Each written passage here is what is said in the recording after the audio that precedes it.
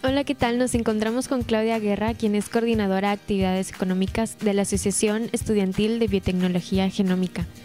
Claudia, coméntanos un poco sobre este congreso que organizan cada dos años. Claro, es un Congreso Internacional de Biotecnología Genómica organizado completamente por alumnos de la Facultad de Ciencias Biológicas y coordinado por nosotros, que somos la Asociación Estudiantil de Biotecnología Genómica. Se realiza cada dos años, esta es la quinta edición y se va a llevar a cabo en el Hotel Four Points de Galerías Monterrey entre el 7 y el 9 de junio del 2018. Nuestro objetivo con el Congreso es difundir la biotecnología y la genómica, los avances en la investigación y realizar eh, conexiones entre alumnos, estudiantes e inversionistas sobre estas áreas.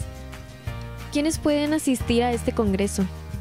Eh, cualquier estudiante e investigador que tenga interés en la biotecnología y la genómica, eh, vamos a tratar los temas de virología molecular, terapia génica, bioremediación, procesos sustentables, bioinformática, evolución molecular, eh, bionegocios y muchos otros.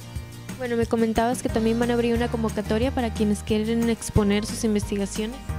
Los alumnos que estén interesados en participar dentro del Congreso en la exposición de pósters, vamos a abrir una convocatoria más adelante.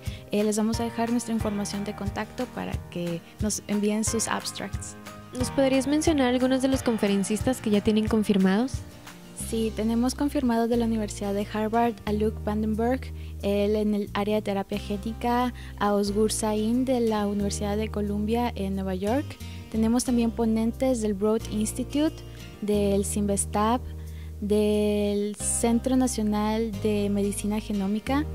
Eh, también tenemos ponentes de nuestra Facultad de Ciencias Biológicas. ¿Por dónde te pueden contactar a las personas que les interese este congreso? Eh, nos pueden contactar en la página de Facebook ACBGen FCB y también nos pueden mandar correo a acbgen.gmail.com. Bueno, muchas gracias Claudia por estar con nosotros. A todos los que nos están viendo recuerden seguirnos a través de nuestras redes sociales. Hasta la próxima.